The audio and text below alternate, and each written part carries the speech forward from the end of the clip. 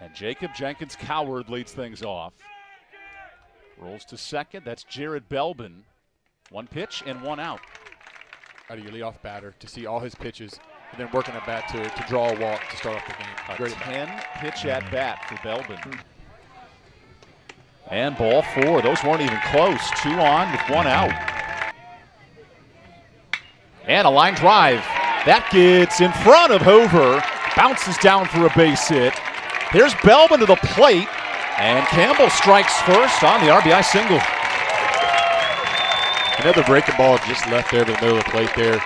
Winters did a great job driving the ball just out to left field. Looked like the left fielder had a dive on it, but wasn't able to get it. One out. And a squeeze bunt is put on.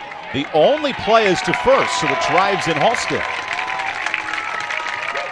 And there it is, the Campbell offense. You know, the guys that can can bang and hit power numbers, home runs, also can lay the bunt down.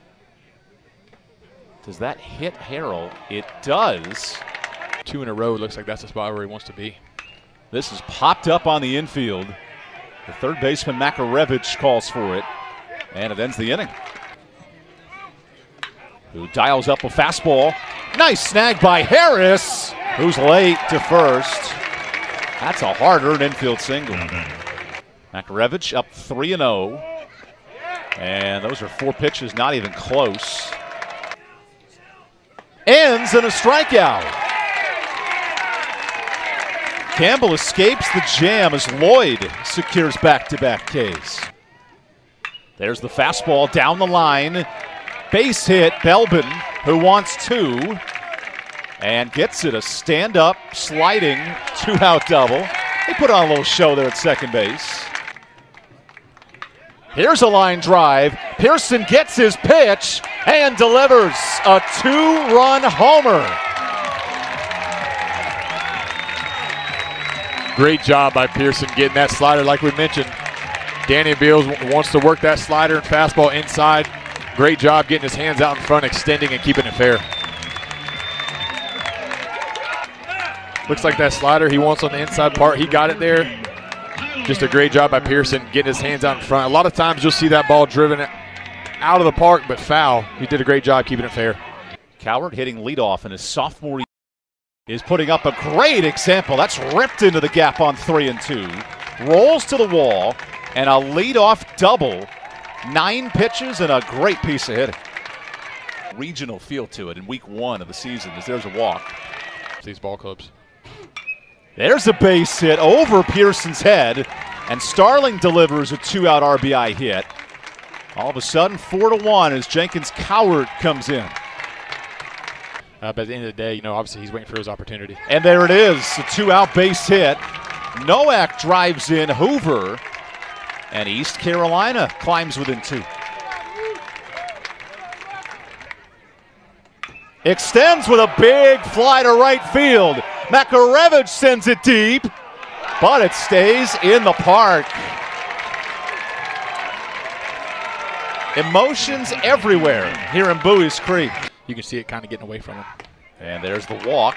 Moylan able to reach. And he goes after the first pitch. That's a sharp base hit.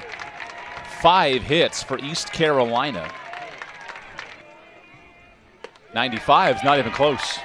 Definitely got to assume that's probably his last batter as he loads the bases for for the three-hole Wilcoxon. This fly ball will stay in the park for Halstead. Oh, Halstead drops it. Two runs in, a third, and Hoover scores on the blatant error. Yeah, that's a tough read. I saw the ball off the bat from a left-hander. It looks like he got inside of it, so it's going to be working right to left coming down. And I don't know if they got above the lights and Halstead couldn't see it, but got that fastball down the middle. Looks like he was a little late. Drove it high in the air, and you got to think that ball, as he gets inside, was working right to left. And never really got his feet still and always drifting. And now Starling gets hit by a pitch. How do you keep your composure here if you're Ty Cummings? Ground ball rolled to Pearson. And that just ends the inning. And a walk to start the inning. He lines through the right side and moving to third is Winners. So men at the corners with nobody out. The one two from Bratt. Blows it by him at 97. That's some velo for the first out. And the bunt gets down in a perfect spot. So this game is tied on the RBI groundout. Ooh, that hits him on the arm.